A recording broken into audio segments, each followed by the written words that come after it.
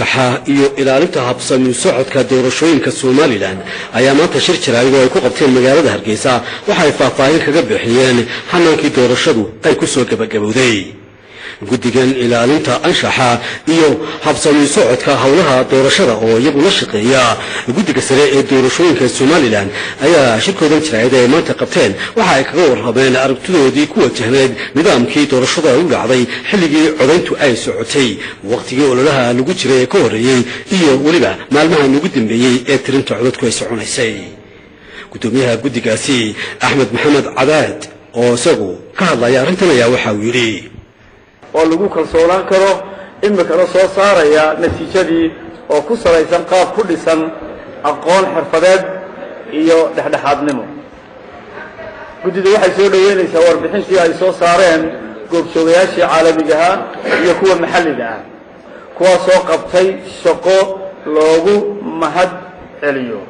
Kadib markii ay caddeeyeen inay doorashadu ahayd mid ku dhacday si xor ah oo xalaal ah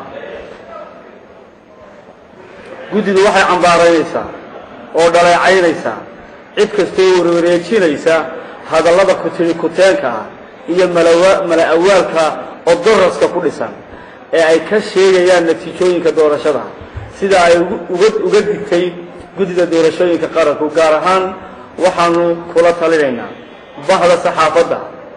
Inay ilaaliso oo raacdo talooyinka guddida doorashooyinka qaranka oo aan laga hor dhicin ku dhawaaqidda natiijada ee guddida doorashooyinka qaranka. Guddidu waxay ka codsanaysaa guud ahaan dadweynaha reer somalilan inay si dulqaad ku jiro u sugaan natiijooyinka doorashooyinka ee ka soo bixi doonta guddida doorashooyinka qaranka.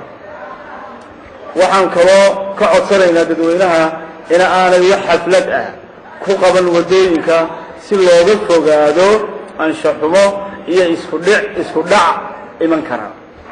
Geesta kalena guddiga doorashooyinka ayaa waxay ku howlan yihiin tirinta codadka doorashada iyo hubintooda iyadoo inta badan gobollada la soo gebagabeeyey lana filayo maalmaha yareefooda inagu soo harsan in si rasmiya guddiga doorashooyinku ay ku dhawaaqaan natiijada kama dambaysta ah ee doorashadu.